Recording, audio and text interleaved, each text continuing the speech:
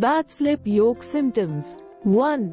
Whining sounds. While this isn't the most common symptom of a faulty slip yoke, if you have a slip yoke without enough grease, it's certainly possible that it can create some whining sounds. Check out the slip yoke and try putting some more grease into it if you're hearing whining sounds and suspect the slip yoke. 2.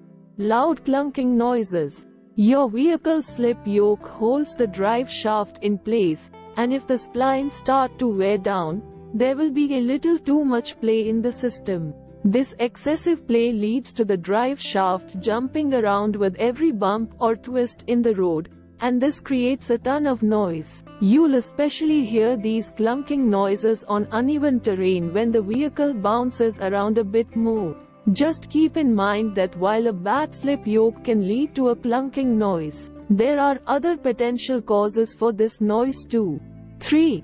Grinding or squeaking sounds. While this typically doesn't come back to the slip yoke but to other issues with the drive shaft, it's not impossible that a damaged slip yoke could create grinding or squeaking sounds. It's all about what slips into the worn slip yoke to create those sounds while you are driving. 4. Excessive vibrations. If the drive shaft doesn't sit firmly in place while you are driving, it will throw the entire system out of balance. The drive shaft spins a ton while you are driving. And if it's not staying in the same place, it's going to create vibrations throughout your entire vehicle.